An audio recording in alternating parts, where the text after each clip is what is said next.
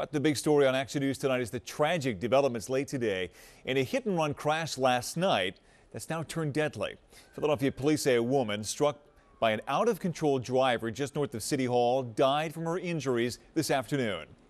The woman was walking with her three young children, one of whom, an eight year old girl, was critically injured.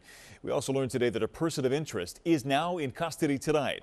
Action News' Walter Perez live at the scene where this all happened last night. And Walter, you've got the latest from there.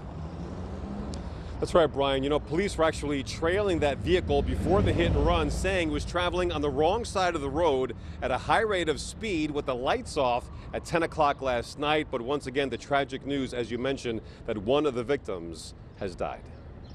It was right around 10 o'clock last night when patrol officers started following a vehicle that was driving around erratically not far from City Hall. In fact, those officers were close enough to have actually witnessed the hit and run as the vehicle approached the intersection of Broad and Arch Streets. The officers from the 6th District clearly saw this vehicle strike someone because they saw a body launched into the air about 20 feet. In the end, a 38-year-old woman suffered severe head trauma and later died at Jefferson Hospital. An 8-year-old girl was also critically injured and remains hospitalized at CHOP. Two other girls, ages 10 and 11, who were with the victim at the time were not injured.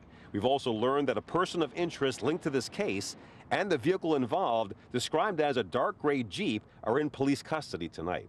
Investigators also say, along with eyewitness accounts, the crime scene displayed telltale signs of a hit and run driver traveling at a very high rate of speed. There's at least six pieces of footwear, some slides and some sneakers that are on the scene. They were hit with such force and such speed, they were launched out of their footwear. So that, that proves that speed is a factor.